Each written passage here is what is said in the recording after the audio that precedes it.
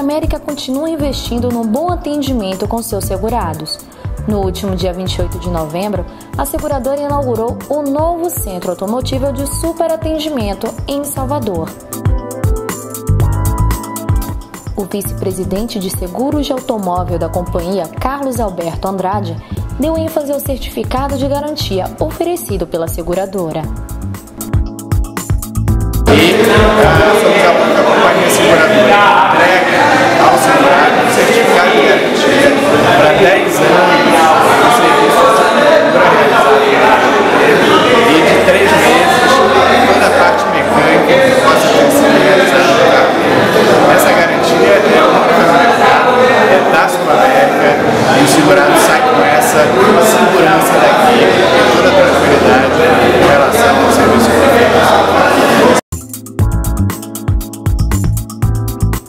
Diretor regional da Sul América, José Henrique Pimentel, fala sobre a importância do diferencial na hora do atendimento. A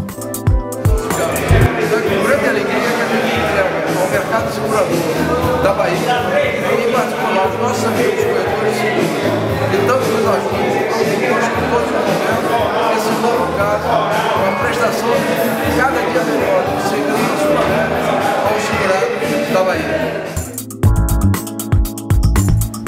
diretor social do Sincor Bahia, Mário Almeida, a seguradora já é bem recebida no estado pelos corretores e associados.